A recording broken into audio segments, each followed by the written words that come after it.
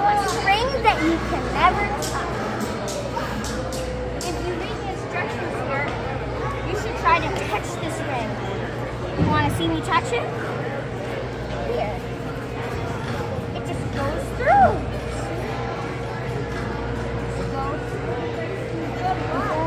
But now, you can shine the flashlight on the spring, but it reflects off the spring. Yeah, even has a shadow. That's done really well. Now, if you put your hand here and you go even down, you see my hand that you can't even touch. Makes you feel a little bit blurry-eyed, right? That feels so. But my hand also So that's where the mirror It's really weird. So let's look at the secret. The secret, if you come over here, you can see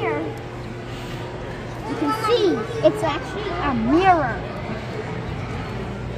I can't see it. Hmm.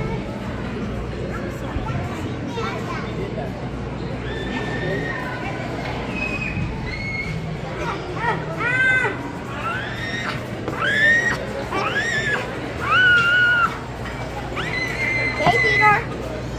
That is a spring that you can never touch. I don't even drop the